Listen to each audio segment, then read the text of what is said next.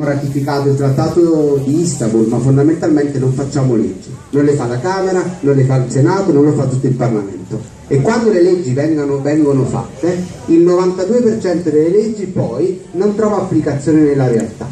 Perché magari ci vuole il decreto attuativo, magari ci vuole il regolamento, magari la legge non è fatta la legge non è fatta proprio bene e quindi il regolamento attuativo poi deve trovare un escamotaggio per far riuscire a camminare quella legge. Quindi tutto quello che noi abbiamo imparato culturalmente, quello che noi abbiamo imparato dalla televisione, quello che abbiamo imparato studiando, dalle scuole elementari fino ad arrivare al liceo, alle scuole tecniche, all'università, dobbiamo in qualche modo dimenticarlo, perché non funziona così, è tutta una bugia. Noi ho capito che un compito che abbiamo come cittadini in Parlamento è quello una volta e per tutti di smascherare e per tutte di smascherare un sistema, di smascherare quello che loro fanno ogni giorno a discapito di tutti e far comprendere che quel sistema così com'è non funziona più e che crediamo a cose che non sono più vere. Questo è molto importante perché se noi non smascheriamo un meccanismo non capiremo niente. Noi non cambieremo mai facendo sì che una legge abbia corso e quindi facciamo una buona legge e pensiamo che abbiamo risolto qualcosa. È importante fare una buona legge, ma è molto più importante far comprendere a tutta la popolazione come funziona un meccanismo, un, un meccanismo che non schiaccia sassi e che fondamentalmente non rappresenta più le persone. Non è solo il PD il problema o il PDL, ex Forza Italia, NCD, bla bla bla, CCC. Il problema è che è un sistema che non rappresenta più le persone e noi questo sistema lo dobbiamo cambiare, assolutamente.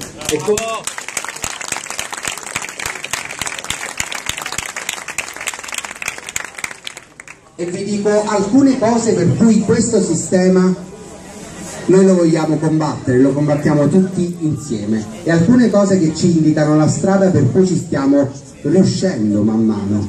In soli dieci mesi sono successe alcune cose nel paese che non erano mai successe prima. Ragazzi vi chiedo silenzio dietro, veramente silenzio dietro. Venite avanti, venite avanti, però non, non posso sentire questo Ve lo dico perché sennò mi, non sono concentrato senso, e non riesco a parlarvi bene, visto che siamo qua anche tutti per ascoltarci, dobbiamo fare silenzio, quindi anche dietro, ripeto. E, ehm, quindi stavamo dicendo, chi stava seguendo? Stavamo dicendo ecco, che sono successe delle cose, delle cose incredibili in questo paese in dieci mesi. Le larghe intese non erano mai successe prima, mai erano, erano, sempre stati dei fidanzati nascosti e si sono dovuti mostrare. Hanno fatto una maggioranza, un blocco granitico unico e quindi hanno eletto Napolitano bis, altra cosa che non era mai successa, ai limiti della Costituzione. E perché l'hanno eletto? E perché hanno fatto le larghe intese? E perché hanno fatto Napolitano bis? E perché hanno fatto Letta Presidente del Consiglio? E perché hanno usato la ghigliottina? Perché? Uno strumento che non era mai stato usato. E perché in questo momento c'è Renzi, Premier, e in questo momento è da Napolitano? Perché stanno succedendo tutte queste cose in così poco tempo che non erano mai successe in Italia? Perché c'è un movimento che è fatto da cittadini che come unico riferimento ai cittadini e quindi dentro il Parlamento non ci accontentiamo di un emendamento, di una leggina, noi vogliamo cambiare, o cambiamo o ce ne torniamo tutti quanti a casa. Questo è, non facciamo compromessi.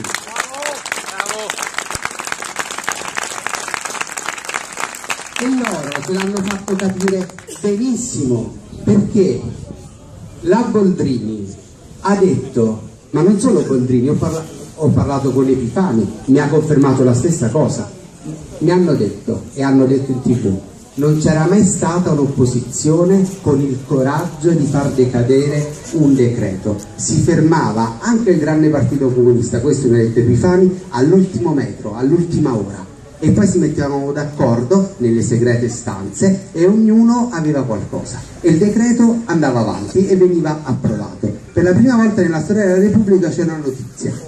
C'è un'opposizione, una vera opposizione, che se non fa che se i decreti, le leggi non sono nell'interesse della collettività non le approverà mai, non scambiamo niente per niente, non facciamo compromessi. Allora quel giorno noi col regolamento parlamentare alla mano avevamo vinto la battaglia contro il decreto IMU Banca Italia, quello schifo di decreto, quello schifo di decreto e avevamo altre 50 ore in Parlamento da poter durare con gli ordini del giorno, le dichiarazioni, il complesso degli emendamenti e così via. E all'improvviso la Boldrini che cosa fa? Mette la ghigliottina. La ghigliottina, che solo il nome è qualcosa che ci dà i brividi, mette il bavaglio alle opposizioni, l'opposizione che davvero non si ferma davanti a niente e fa approvare in tre secondi il decreto IMU Banca Italia, che regala 7 miliardi e mezzo alle banche e come facciata c'era l'abolizione dell'IMU.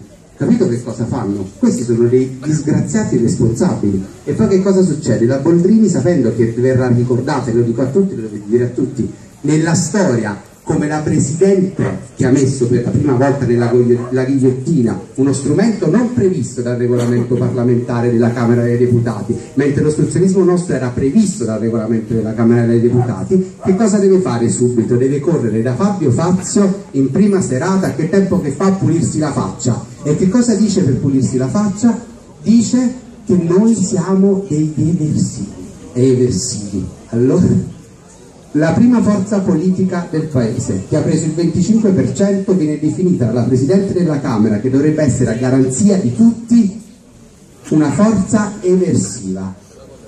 Allora, io questa cosa qui, questa affermazione del Boldini, lo dico ovunque, non l'accetto, non l'accetto e non l'accetterò mai, perché io conosco benissimo questa forza eversiva come è nata, conosco benissimo come siamo cresciuti. È dal 2005 che conosco questo progetto che non c'era e conosco tutte le realtà in Italia. Allora so, monta il gazebo, raccogli le firme sotto la pioggia, sotto il sole, vedi se è stampato il modulo, raccogliamo 30 euro per pagare la copisteria, la tipografia.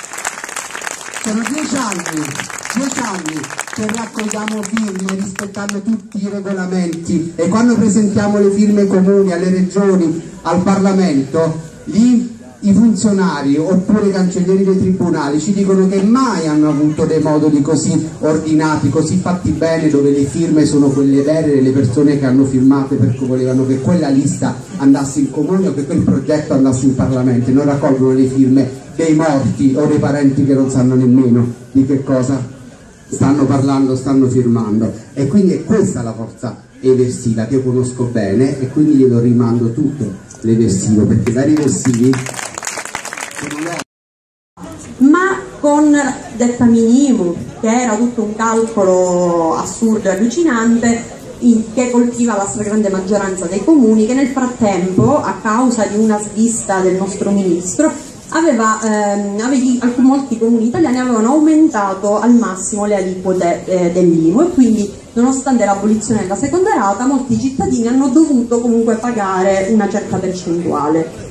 Ora, questo per, per, farvi capire cosa? Che effettivamente la volontà del governo non era quella di eliminare l'IMU, ma come vi diceva Roberto si sono verificate queste eh, stranezze di, di questa legislatura, una di queste sono le larghe intese quindi il signor Berlusconi, che aveva promesso addirittura di restituire l'IMU agli italiani, doveva per forza, ah, quindi l'accordo, uno degli accordi che hanno fatto era quello di dover eliminare obbligatoriamente l'IMU pur non essendo neanche la eh, principale, noi avevamo nel nostro programma l'abolizione dell'IMU, tanto che noi non ci siamo opposti, anzi abbiamo collaborato, eh, ma eh, secondo noi non era la priorità perché prima potevamo andare a sgravare le piccole e medie imprese facendo eh, quell'azione di sviluppo che eh, diceva Nuccio. Eh, però loro si sono spinati su questa strada e quindi noi eravamo favorevoli. Ma non essendoci la volontà del governo in primis del ministro, dell'ex ministro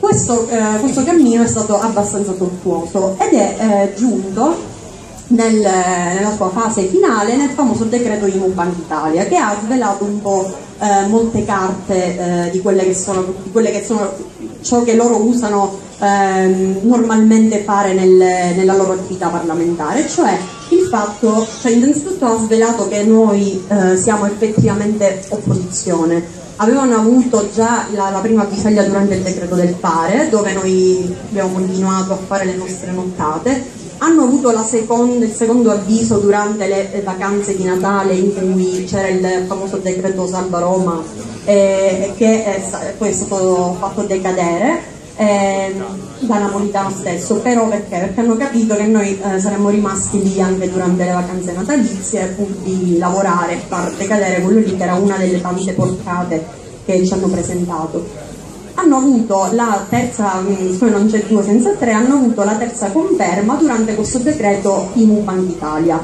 Ora vi voglio un po' spiegare non tanto quello che è successo, cioè come eh, contenuto, perché più o meno eh, lo abbiamo capito, cioè c'era questo trasferimento dalle riserve che sono mh, dello Stato al capitale diciamo, della Banca d'Italia i, ehm, gli azionisti della Banca Italia, che è una SPA, sono le banche private quindi tramite, non direttamente, ma tramite eh, dividendi e varie rivendite di queste quote, le banche otterranno una liquidità diciamo forzata, indotta, non una liquidità che loro sono guadagnati con la loro attività di banca, ma eh, con questo trasferimento indiretto che ha fatto il nostro Stato per paura eh, di non arrivare a quelli che sono gli stress test che eh, la BCE farà eh, in quest'anno e negli anni successivi sulle nostre banche. Quindi se li sono, noi abbiamo detto, Capezzone diceva è un regalo alle banche, noi abbiamo detto è una rapina agli italiani a favore delle banche, perché è una cosa peggiore di regalo.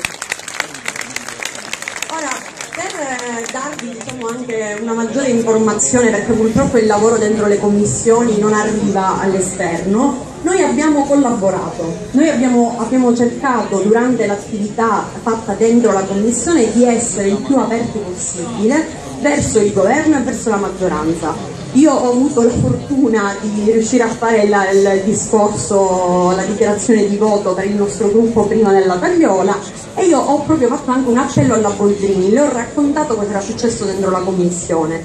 Noi abbiamo presentato in commissione due emendamenti, cioè quando si fa ostruzionismo si presentano una marea di emendamenti, cosa che hanno fatto le altre opposizioni, fintamente, perché poi li ritirano.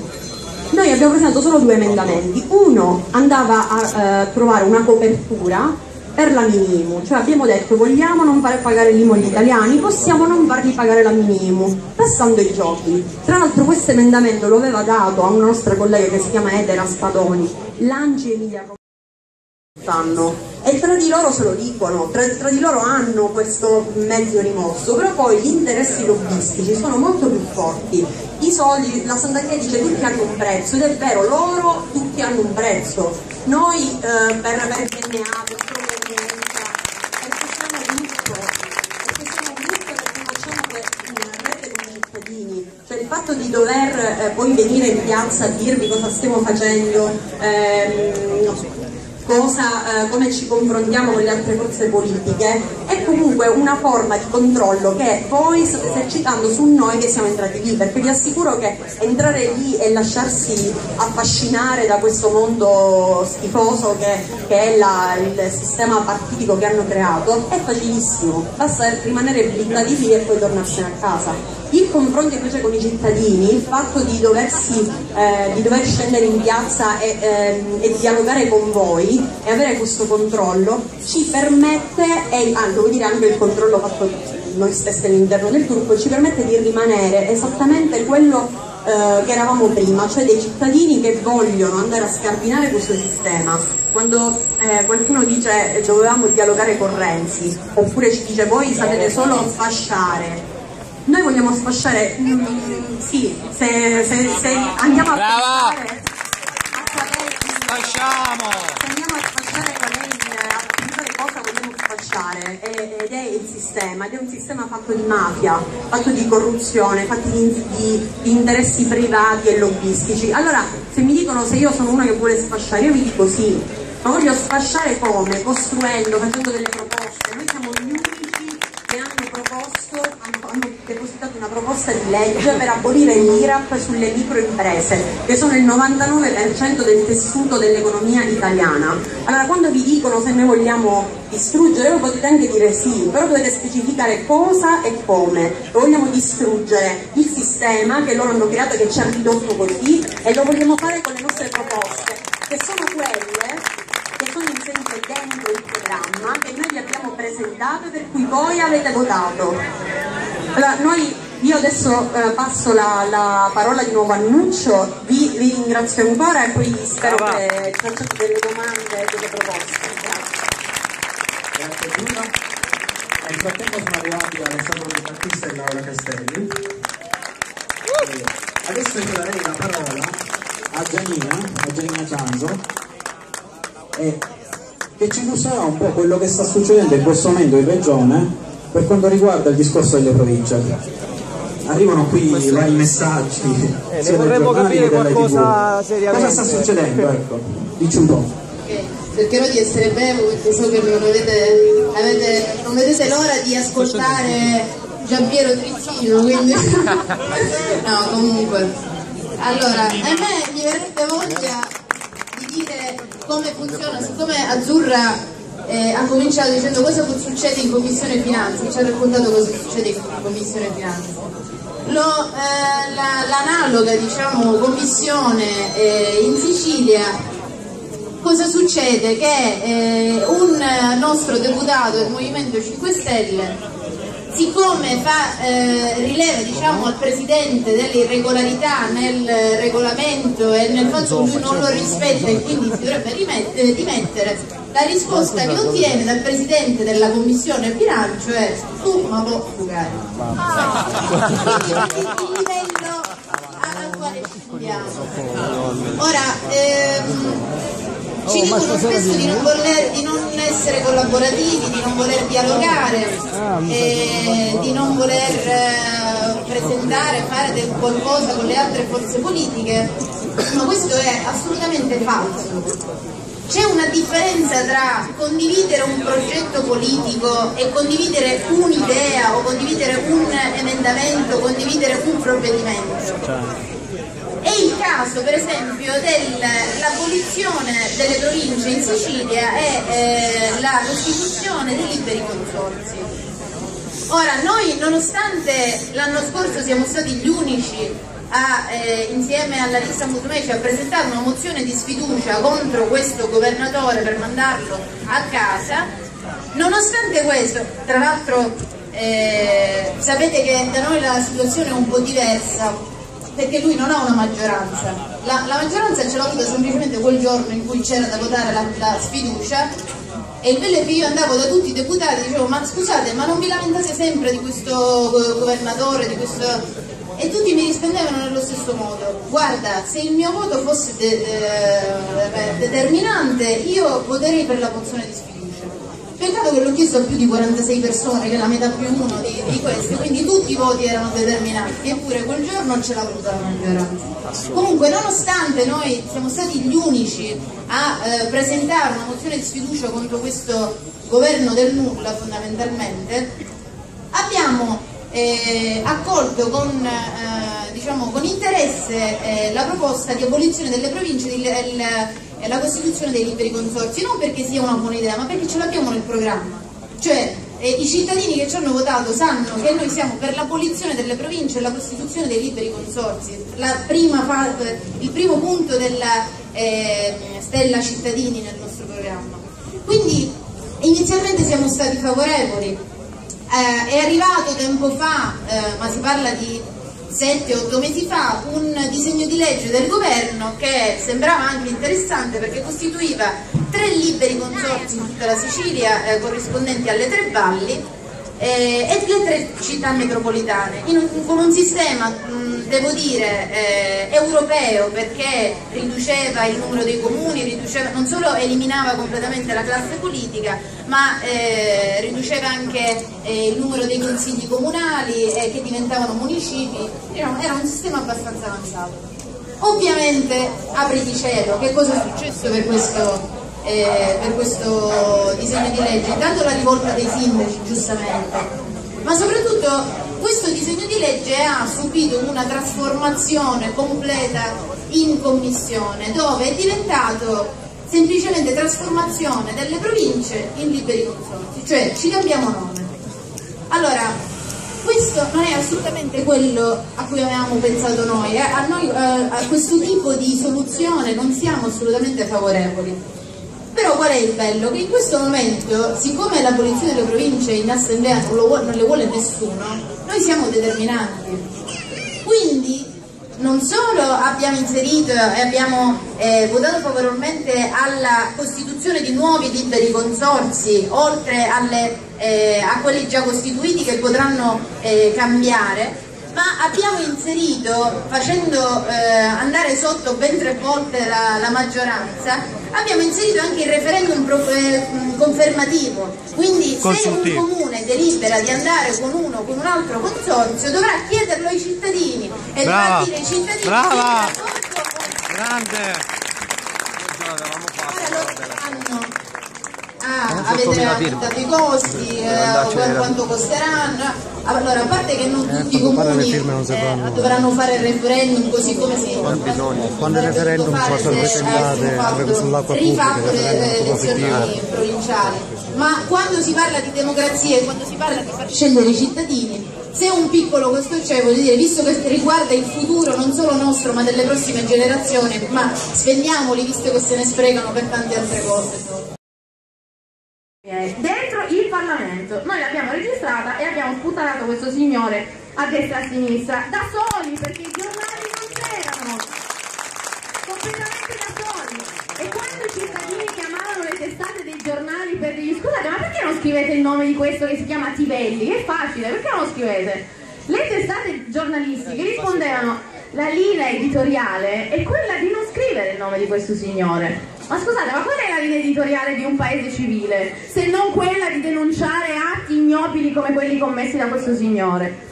Quindi la Corte dei Conti, che è l'ente costituzionalmente eh, stabilito per legge, che controlla tutti i conti pubblici, Ieri finalmente ha emesso questa sentenza, in realtà non è una sentenza impositiva perché non obbliga il Parlamento e il governo a fare qualcosa. E cosa dice? Dice che c'è un buco di 13,7 miliardi. Ma non 1, 2, 13,7 miliardi. Cosa fareste voi in Italia con 13,7 miliardi? Ecco, noi faremmo il reddito di cittadinanza. E allora noi ieri abbiamo, ci siamo guardati e abbiamo detto cavolo, cioè non è che solo avevamo ragione, ci avevamo visto più lungo di, di tutti gli altri e avevamo scritto a Napolitano, avevamo scritto alla Boldrini, avevamo denunciato l'atteggiamento dei due presidenti di commissione ignobili, uno quello della Camera Boccia è quello che scambia gli elicotteri per gli F-35 e ve lo ricorderete. L'altro invece al Senato è Azzolini, quello che fa il porto fantasma eh, mettendoci sotto i rifiuti. Quelli, quelli sono le persone che gestiscono i soldi pubblici dell'Italia. Quindi noi abbiamo chiesto le dimissioni di questi due personaggi. Ma quello che più ci fa arrabbiare è che noi l'avevamo detto e che quando lo dicevamo noi ci fischiavano, ci prendevano in giro, sì va bene ma voi adesso siete arrivati, è sempre funzionato così, due soldi di qua, due soldi di là, l'associazione eccetera. Noi eravamo talmente arrabbiati che abbiamo detto subito facciamo un esposto, perché questa cosa va denunciata. E lì ci siamo accorti che un deputato singolo, un deputato singolo come noi, non può denunciare a nessun organo il fatto che il Parlamento fa una legge contro la legge. Non si può fare. Io non posso andare a denunciare una cosa che secondo me non va di una procedura contabile. E quindi abbiamo detto, vabbè, speriamo che le nostre grida siano servite. E effettivamente ieri abbiamo appreso che sono servite. Ma questo fa parte di quella di, schi- di, quello schifo che noi viviamo tutti i giorni e devo dire che è anche un po' angosciante perché io sono stufa di andare in commissione bilancio e pensare che un'azienda privata se facesse le cose che fa oggi lo Stato con i suoi soldi sarebbe chiusa, fallita e la gente che è nel CDA sarebbe in galera.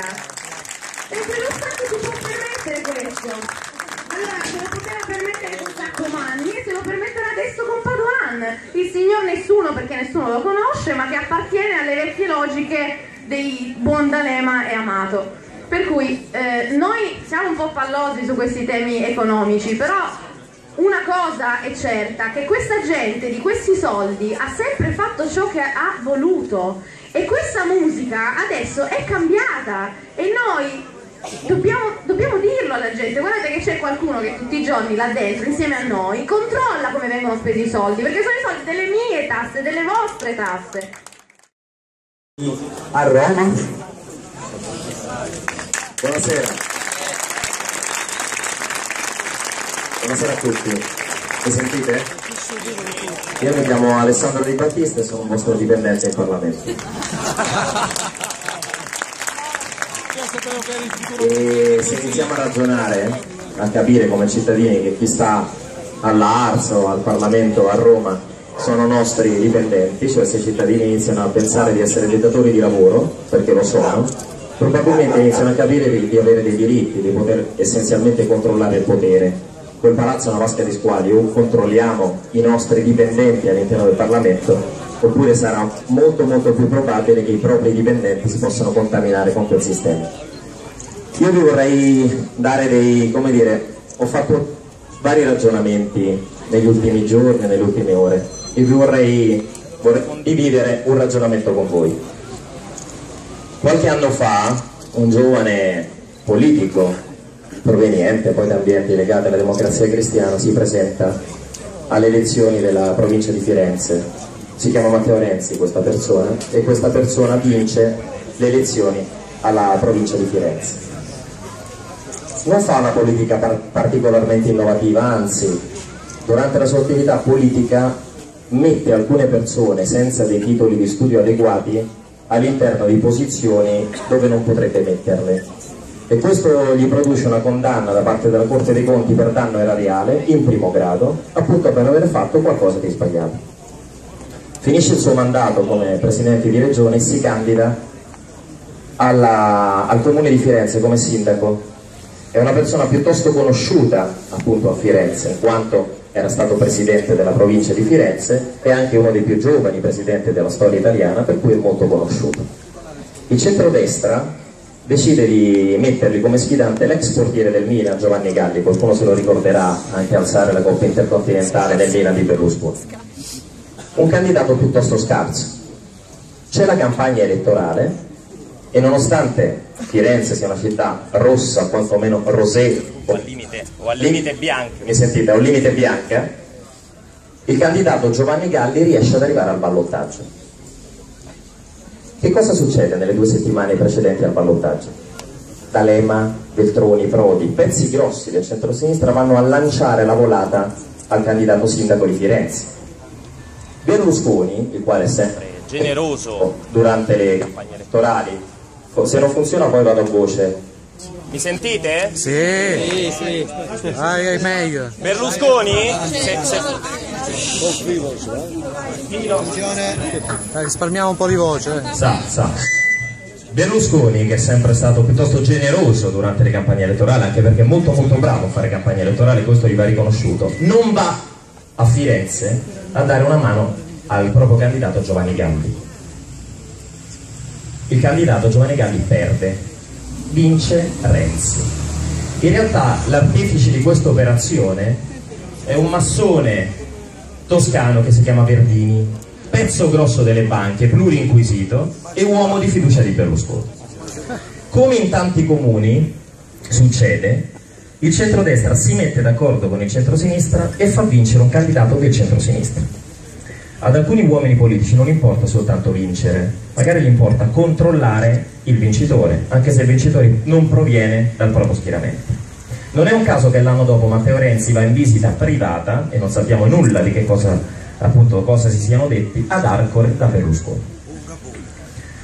Poi Renzi diventa sindaco e compagnia bella. Guardate che questo sistema, che io definisco di ricatto incrociato, una repubblica fondata sul ricatto, non è nuova, quando il governatore del Lazio Marrazzo viene beccato con cocaina e transessuali, al di giudizi morali o etici, il video che lo ritrae in posizione piuttosto scomoda, con i pantaloni calati, arriva preso, scelto essenzialmente da Berlusconi, che gli aveva fatto un favore, quindi ora lo ricatta, e da De Benedetti, il quale oggi, oggi ha dei debiti, ha dei buffi, come si dice a Roma, incredibili con le proprie aziende, soprattutto con una Sorgenia, 1,87 miliardi di euro di debiti, 1,87 miliardi di debiti, e chiede aiuto oggi a quelle stesse banche, Intesa, Unicredit e MPS che hanno ricevuto qualche giorno fa, soprattutto grazie al voto dei renziani, perché non è che il Parlamento è cambiato con Renzi, i renziani, i, i deputati sono sempre gli stessi, ricevuto, queste stesse banche hanno ricevuto un regalo incredibile da parte dello Stato, quindi si sono ricapitalizzate con i nostri soldi.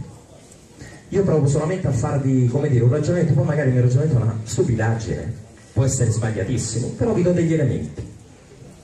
Quando una dittatura sanguinaria del passato vede la fine vicino, si ricompatta e utilizza il sangue, la violenza, le uccisioni, i rastrellamenti ancora con maggiore vigore. Quando una dittatura governativa, un sistema marcio come questo, oltretutto aiutata, coadiuvata da una dittatura mediatica, perché le televisioni e i giornali appartengono sempre a loro, basta leggere chi stanno nel consiglio di amministrazione della stampa, del Corriere della Sera, di Repubblica, chi c'è il RAI, chi c'è dietro appunto la Mediaset che è certamente Berlusconi. Evidentemente utilizza ancora di più la menzogna. Solo che oggi con la rete, con questa piazza gela di venerdì sera con questi tour andiamo dovunque con queste telecamere, con questi cellulari che riprendono e mettono in rete delle informazioni e in rete rimarranno per l'eternità è più complesso per loro mentire. Per cui alzano il tiro e mentono ancora di più e si ricompattano tutti quanti nei confronti di Renzi. Che significa questo? E concludo? Che si deve soffrire, che anche se siamo stanchi tutti noi dobbiamo continuare a insistere i sabati e le domeniche, andare in giro in tutte le piazze a dare direttamente delle informazioni, ognuno di noi deve fare questo lavoro, con i vicini, stampando dei volantini. Bravi. Bisogna resistere. Bisogna resistere, come dice lui, con la consapevolezza che se il sistema fa tutto questo, evidentemente ha paura. Io mi preoccuperei se non ci fosse una reazione nei confronti del Movimento 5 Stelle da parte di un sistema marcio. Se c'è, perché significa che il Movimento 5 Stelle sta lavorando bene, che tutti noi cittadini stiamo lavorando bene, al di là del voto, ognuno voterà quello che vuole. Ma questo sistema di rete, di informazioni, condivisione sta funzionando. Dovunque andiamo le piazze sono sempre più piene. Per cui da un lato resistere, lo so che è difficile, da un altro lato gioire, essere contenti, perché come la hostess, come il poliziotto, come tante persone, tassinari che non ci fanno pagare, tanti cittadini si stanno rendendo conto della verità, di quello che, che è diventata questa Repubblica, teoricamente fondata sul lavoro, ma in realtà fondata sul ricatto. Alla luce di tutto questo, di queste informazioni, verificatele, io potrei dirvi delle balle, verificatele, avete tutti gli strumenti per verificarle. Alla luce di tutto questo, lo capite, perché la nostra linea, che qualcuno definisce dura, ma è semplicemente coerente, ma certamente intransigente, di non immischiarci, al di là delle proposte, si dialoga, nelle commissioni dialoghiamo sempre, di non immischiarci con questo sistema, di non salire al colle, di non fare un governo con Bersani, tra l'altro non ci è mai stato proposto, mai, è una balla, mai. Se noi avessimo magari rilanciato a Bersani, magari oggi Laura Castelli era sottosegretaria al Ministero dell'Economia, io avrei avuto magari un, un ruolo importante al Ministero degli Esteri, ma non, non contano le poltrone, conta un cambio di, di sistema importante basato sull'informazione, sulla vera democrazia. E lo capite anche perché uno come Beppe, che si è fatto il mazzo in questi anni, che in Sicilia è venuto tanto, abbia giustamente non voluto far parlare l'esempio, il prodotto di questo sistema marcio l'altro ieri. Lo capite perché? Fuori dissidenti, eh! Fuori dissidenti! Cosa voleva fare parlare? Le elezioni europee saranno fondamentali. Lì non c'è, non ci sono accorpamenti, coalizioni. Ci siamo noi contro tutti. Oggi dobbiamo capire, al di là delle idee politiche. Fino a quando noi non capiremo l'importanza del voto, del voto, perché noi siamo in siamo abituati a pensare al nostro voto come una cosa così, come se niente fosse, cioè una X su un pezzo, su un pezzo di carta. Il voto, ragazzi, è sacro. Il voto è sacro ed è quello che determina la politica, è quello che determina lo Stato in cui siamo, è, è quello che determina il fatto di vivere in una democrazia. Grazie al voto noi siamo cittadini e quando noi vediamo, votiamo per noi stessi e non votiamo per gli altri, facciamo un gravissimo errore un gravissimo errore. Si deve votare per gli altri, per i nostri figli, per i nostri amici, per i nostri parenti, non per noi. E quando uno mi viene a dire, ah io vi ho votato e ora mi devi dare il posto di lavoro, io gli dico guarda, prova. Io gli dico, guarda, hai sbagliato, la prossima volta vai da qualcun altro, vai da qualcun altro perché io il tuo voto così non lo voglio. Cosa di dare il voto, dare voto, il voto non si dà, si esercita, punto e basta, è un esercizio di democrazia. Bene, lascio la parola agli altri. Eh, Grazie Io voglio continuare il discorso eh, delle problematiche ambientali con Giampiero Trizzino, che è il presidente della commissione ambiente all'ASSA, e tra l'altro lo ringrazio personalmente perché più volte è venuto qui a Gela per le problematiche che abbiamo avuto nel- negli ultimi periodi. Eh, non ultimo ti, ti dico che eh, l'amministrazione chiusa, ha fatto un incontro a porte chiuse con i dirigenti ENI, quindi non ha invitato nemmeno la stampa e quant'altro. Quindi a te ti chiedo, sulle problematiche ambientali, sul MUOS, che cosa si sta facendo lì all'AS? Scusami il tempo perché se ho questo problema di fare la strada. Allora, eh, innanzitutto buonasera, è un piacere rivedervi. E io volevo partire da una considerazione che ha fatto Giannina poco fa, una sintesi di quello che ha detto. Noi siamo liberi, non è utopia, non è una, non è una frase fatta lì, noi siamo davvero liberi. La, la bellezza di questa libertà sta nel fatto che io rispondo della mia coscienza, lo faccio come cittadino, come ambientalista e ora come presidente di commissione. Quando mi si, trova davanti pro- quando mi si apre davanti un problema, io non devo andare a vedere quanti voti tolgo dal mio portafoglio, non l'ho mai fatto, non lo fa nessuno di noi.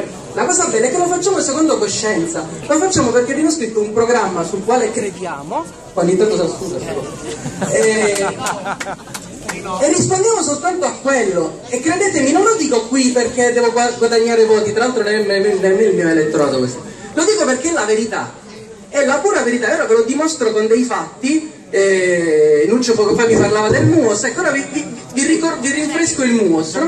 scusa. Che è successo? Ah. Ve lo rinfresco non, per, non per perché voglio parlarvi di cose noiose che conoscete bene, ma per un motivo molto semplice.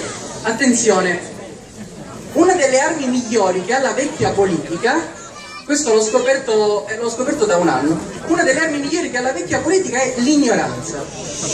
La politica vive di ignoranza, della nostra ignoranza. E la seconda cosa di cui vive è il silenzio. Fateci caso. Meno se ne Sono parla e passati due anni, no, tre anni dal disastro, è un esempio che non c'entra niente con la commissione ambiente. Sono passati tre anni dal disastro di Fukushima. Si diceva addirittura che non si doveva nemmeno, comprare più il tonno del Pacifico. Se voi vi andate a vedere il report dell'Istituto Mondiale di Sanità, si dice esattamente il contrario. Non bisognerebbe nemmeno acquistarlo, nemmeno guardarlo il tonno confezionato al Pacifico, perché il problema non si è spento. Perché noi ce ne stiamo dimenticando? Perché non ne parla più nessuno, ecco l'ignoranza. La stessa cosa lo fanno a livello locale i nostri politici, lo fanno con il MUOS, lo fanno sull'urbanistica, lo fanno sulle... Noi qua siamo a due passi da uno dei più grandi SIN del mondo. I SIN sono i siti di interesse nazionale. Siracusa è uno dei più grandi SIN d'Europa e del mondo. 30 km di area industriale completamente devastati. I più alti livelli di tumore li abbiamo in Sicilia. Questo non lo dico io per farvi spaventare, questo lo dice l'Istituto Superiore di Sanità. Ok? Il fatto di non parlarne agevola molto, perché se io non ne parlo non spunta il problema e non lo devo risolvere. Ecco, eh, da un anno noi siamo all'ARS, eh, da un anno sono presidente della commissione ambiente, abbiamo fatto diversamente alla Camera, abbiamo fatto diverse leggi, proprio per loro hanno la decretazione d'urgenza, questa cosa schifosa che noi fortunatamente non abbiamo. Però guardate che cambiare la Sicilia con delle nuove leggi è davvero difficile perché noi qui dobbiamo ripristinare uno status quo ante che è davvero terrificante. Noi abbiamo delle aree degradate dove la gente muore perché per 40 anni, 50 anni la politica industriale ha dettato leggi sopra tutte quelle che sono le materie ambientali sulla salute. La materia ambientale della salute in Sicilia non è mai esistita. L'altra volta io mi trovavo a parlare con un deputato della mia commissione che mi diceva, alla fine di un'audizione, e beh Presidente, a verbale chiaramente, e beh Presidente, in effetti la coscienza ambientale sta nascendo. Minchia, sta nascendo. Ma stiamo scherzando? Ma Rio de Janeiro? Ma Stoccolma? Ma stiamo scherzando? Noi siamo nel 2014, nel 2014 e ancora oggi si parla di, de- dell'idea che sta nascendo la coscienza ambientale, quando nel resto del mondo la coscienza ambientale è sulla bocca di tutti. Quindi voi vi rendete conto che noi abbiamo di fronte una classe politica che sta avendo un'idea generale su cosa sia l'ambiente, perché noi ancora pianifichiamo il territorio, le strategie industriali, considerando l'ambiente e la salute dei cittadini come se fosse l'ultima cosa. Guardate che è veramente così, non è che lo dico tanto bene, ora ve lo spiego. Il MUOS è un caso eclatante, il MUOS è nata come battaglia ambientale e poi è diventata battaglia di giustizia. Oramai noi abbiamo esportato questa cosa del MUOS a livello europeo, io ho fatto un'interrogazione al presidente Topnik della Commissione europea perché abbiamo detto, ok, non ci ha ascoltato Crocetto, non ci ha ascoltato Letta, perché non ci ascolta in Europa. Nemmeno là ci stanno ascoltando mai. Però noi continuiamo. Ah, il caso del MUOS è una cosa fantastica. Solleviamo la questione, Crocetta ci vince le elezioni, parliamoci chiaro. Eh, noi facciamo battaglia perché ci crediamo in questa battaglia e continuiamo a farla anche oggi. Chiedetevi perché Crocetta non ne parla più. Certo, ormai l'ha provato. Ha vinto le elezioni. Noi perché stiamo continuando a lottare per queste cose? Perché siamo liberi, perché non ci interessa, perché noi crediamo che la salute dei niscemesi così come di tutti i siciliani è più importante di vincere le elezioni. È semplicemente quello. Non ci sono altri motivi. Allora, in due parole, come, come nasce la storia del MUOS? Lo dico non per noi, ma per ricordare, perché noi non dobbiamo dimenticare le cose. Non si parla più del MUOS, così Crocetta cosa fa? Non ne parla più, fra sei anni torna a Niscevi e magari qualcuno lo vota. No, non lo dovete votare! Ma non perché io sono del Movimento 5 Stelle, perché io vi sto parlando da ambientalista, da persona che crede nella tutela dell'ambiente. Noi proprio, cosa succede all'indomani delle elezioni? Presentiamo una mozione, la presenta anche il PD, bisogna essere onesti, queste mozioni vengono integrate, vengono votate all'unanimità, Crocetta che fa? Sospende i lavori. Noi ci rendiamo conto che era una cosa inutile sospendere i lavori, allora cosa facciamo? Chiediamo con una nota di revocare. Non mi dimenticherò mai quella telefonata che fece all'avvocato di Crocetta spiegando la differenza tra sospensione in autotutela e revoca in autotutela, non la sapeva, gliel'abbiamo spiegato. Dopo qualche mese revoca, si rende conto che in effetti è una cosa gravosa, cosa succede? Il Ministero dell'Interno va al TAR, fa ricorso per eh, sospendere il provvedimento di revoca la vinciamo la causa. Quindi dopo bella abbiamo vinto la causa, perfetto. Cosa fa? Cosa fa il Ministero dell'Interno? Ovviamente fa il ricorso verso la, la- la decisione di primo grado, l'impugnativa. È una cosa che fanno tutti gli avvocati, anche quello che si è abilitato il giorno dopo. Il Ministro dell'Interno manda una nota a Crocetta e gli dice se tu revochi la revoca, io non ti chiedo il risarcimento del danno. Vabbè. Però contemporaneamente cosa succede? Arriva, questo è un pas- un passaggio importante, arriva una nota del verificatore di un altro processo, il professore D'Amore, il quale dimostra scientificamente che ci sono seri rischi per la salute dei cittadini. Applicazione dei principi di precauzione, uno più uno fa due. Cosa fa Cocetta il giorno dopo? Revoca la revoca. Revoca la revoca semplicemente perché arriva un documento dell'Istituto Superiore Sanità che dice ci sono delle possibili conseguenze per la salute dei cittadini, possibili conseguenze che però comunque dovrebbero essere verificate perché si tratta di dati teorici, cioè loro hanno studiato su dati teorici gli effetti sulla salute dei cittadini. È come dire, vabbè, noi intanto le montiamo queste antenne, poi sulla pelle dei cittadini vediamo se fanno bene o fanno male. E che succede? Crocetta dice, perché questa è tipo la circolare con la quale si fa la regola della regola, dice, è stato scientificamente provato che non ci sono più danni alla salute. Ah, e la... Le antenne non sono nemmeno accese, sono tutti dati teorici, però intanto noi le antenne le montiamo. Che cosa fa Crocetta? Questa è ancora più bella dell'altra. Attenzione, lui revoca la revoca, io vado da Crocetta e dico, ma come hai revocato? Stavamo vincendo, ti abbiamo dato tutte le carte per vincere. E lui, forse sarà stata Nisceli che l'ha detto, vabbè ma voi fate, fatemi causa. Cioè, fatemi causa. Ci ha chiesto di fargli causa. E noi gliel'abbiamo fatta. Noi abbiamo fatto causa. Poi il 27 marzo, e lei era convinto di trovare dei bambini. Il problema è che sono avvocato, quindi mi veniva facile scrivere l'atto. E abbiamo fatto, ok, non l'ho scritto chiaramente, l'hanno scritto dei validissimi avvocati che hanno collaborato con il movimento. Eh, il 27 ci sarà l'udienza, capace che la vinciamo. Immaginate la soddisfazione, noi eh, lui chiaramente si dovrà inventare qualcos'altro, però la cosa qual è? Qual è la sintesi di tutto questo discorso? Che ha giocato sulla nostra ignoranza. Ha detto, ma cosa ne devono capire questi del Movimento 5 Stelle che gli revoco la revoca, poi gli faccio il ricorso al TAR, poi ricorso al CGA? Eh no, è facile, se tu segui un percorso logico, la soluzione la trovi, noi l'abbiamo trovata. Noi ci siamo spostati dal profilo politico a quello giudiziario, perché noi andiamo avanti così. Noi facciamo tutte e due cose, perché in questa terra purtroppo la politica serve, ma non, non completamente, poi bisogna andare dai magistrati bisogna andare dai magistrati. Noi andremo dai magistrati anche per le bonifiche sull'amianto. Sapete quanti miliardi? Poi sono stati stanziati 60 milioni di, di, lire, 60 miliardi di lire, quando c'era la lira, e poi altrettanti mi, milioni di euro per le bonifiche dei siti inquinati. Ma dove sono finiti questi soldi? Ma chiediamo ai magistrati, qual è il problema?